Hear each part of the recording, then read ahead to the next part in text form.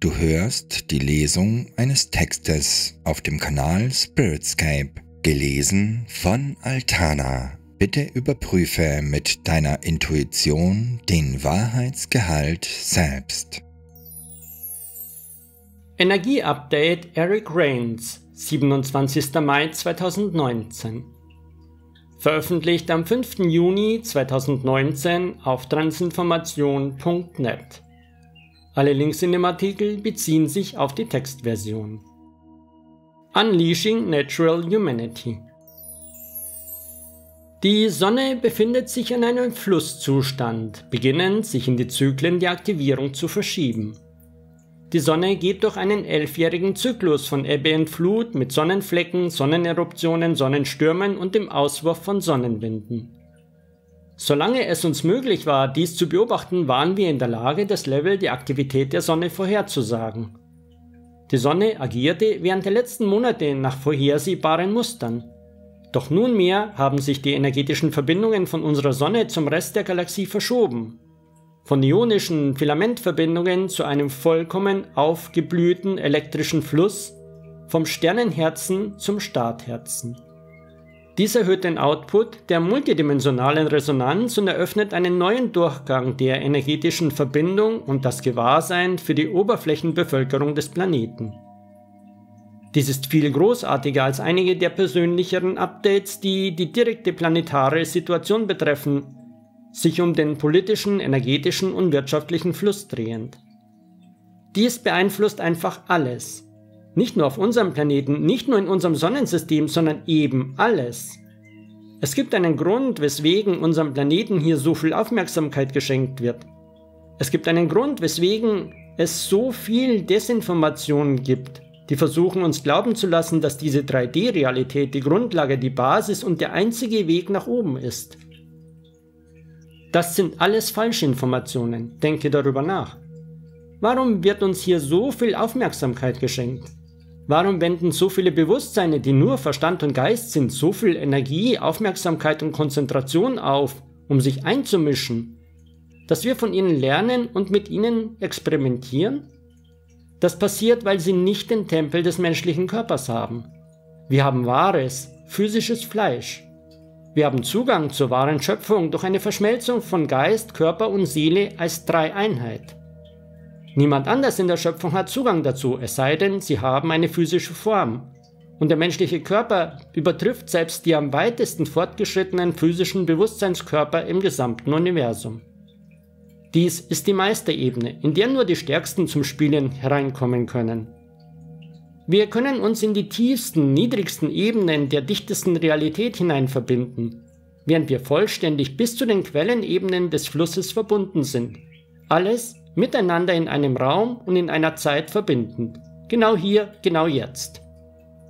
Wir existieren innerhalb der höchsten Form von bewusster, organischer, wahrer Technologie im Fleische des gesamten Universums und wurden trainiert, lediglich innerhalb eines winzigen Bruchteils dieser Fähigkeiten zu operieren.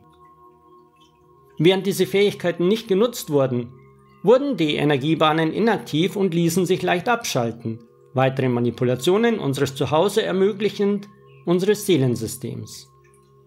Während diese Ebbe und Flut, dieses Auf und Ab voranschritt, verlor die Sonne, passenderweise Sol genannt, den Zugang zu den Resonanzfrequenzen, die wir durch unsere physischen Körper strömen ließen, während diese Flows abgeschaltet und die DNS inaktiv wurde. Sie verlor ihre Fähigkeit, bewusst zu denken, fühlen, nachzusinnen und wurde zu der, wie wir sie heute kennen, eine leuchtende Kugel der Fusion. Eine gravimetrische explosive Kraft mit eigener Masse, die die Explosion in sich birgt. Nach außen Wärme, Strahlung, Frequenz und Licht ausstrahlend. Die Sonne pulsiert, sie strömt. Wenn du jemals den harmonischen Konvergenzströmungszustand des Wassers gesehen hast, wenn sich die Frequenzen in ihm erhöhen, befinden wir uns in dem Raum kurz vor dem Übergang zu einem sauberen, komplexeren Design. Dieses Video ist ein hervorragendes visuelles Tutorial darüber, was dann passiert, wenn die Sonne eine neue Frequenz erreicht. In der Textversion folgt das genannte Video. Dieses ist auch als Infokarte verlinkt. Dies facht aktiv die Filamentpfade der menschlichen Verbindung in die alten Energien, primordialer natürlicher menschlicher Funktion an, energetisch und physisch vollkommen gewahr, bis hin zu den galaktischen Ebenen. Stell dir das in der Weise vor, als ob wir in einem Ball stecken geblieben wären. Eine planetengroße Kugel, die aber trotzdem noch in ihr feststeckt. Nun wird der Hohlraum, den wir im Inneren haben, als ein Gefühl des dichte Loslassens erkannt und dieser Flow öffnet sich nach außerhalb unseres Balles. Wir können es auf der Entfernung fühlen, es hat uns jedoch nicht durch die Kruste des Planeten erreicht. Inaktive DNS-Aktivitäten passieren mit zunehmender Häufigkeit und Intensität. Gedankenprogrammierungen auf dem ganzen Planeten werden beginnen sich aufzulösen, während mehr und mehr Ebenen des Spürens und der Empfindung sich für diese massive Verankerung des Lichts öffnen, die unser Planet in diesem nächsten Abschnitt erleben wird. Eines der wichtigsten Dinge, die wir tun können, ist, in das Jetztsein einzutreten. Ich erkläre dies in diesem Artikel viel detaillierter, da es für dieses Update zu langwierig ist. Hier ist auf den Artikel verlinkt, der in Kürze auch als Hörvideo verfügbar sein wird. Die Bedeutung des Jetzt. Indem wir in diesen Raum eintreten, verbinden wir uns nicht nur tiefer in unsere Fähigkeit hinein, die Lichtsprachen anzurufen, die die körperliche Gesundheit im Körper verschieben, sondern stimmen uns auch in die neuen Frequenzen ein, die die Sonne auszuströmen beginnt. Erwarte mehr Sonnenstürme, wilde Sprünge in der Schumann-Resonanz und mehr politische heißes Eisen-Themen, die in die Bewusstseinsebenen geschoben werden und nutze diese Triggerpunkte aktiv als deine rote Fahne. Sobald du deine rote Fahne erkennst, sinniere darüber nach, wie du dich fühlst, wenn du damit konfrontiert wirst. Erkenne in diesem Jetztsein, dass du die Macht hast, das zu erschaffen, was du in diesen Momenten tatsächlich erfahren willst. Danke dem Auslöser für die Gelegenheit zu wachsen, dann verlagere aktiv deine Aufmerksamkeit auf Inhalte, Bildung, Wachstum und Aktivität in den Gebieten, von denen du mehr sehen, fühlen und erleben möchtest. Falls du bemerkst, dass deine Aufmerksamkeit ständig außerhalb von dir umherwandert, habe ich diese superschnelle, einfache Meditation in Englisch zusammengestellt, um deinen Fokus ruhig wieder in deinen persönlichen Raum zurückzubringen wo du ihn in deine gewählte Aufmerksamkeit hineinlenken kannst. Wir werden in gewisser Weise in den Schmelztiegel eintreten. Einige mögen dies als eine extrem aufreibende Zeit interpretieren. Ich persönlich resoniere damit, dies als eine Zeit der Verschiebung und des Wachstums anzuerkennen. Von Evolution und Gewahrsein.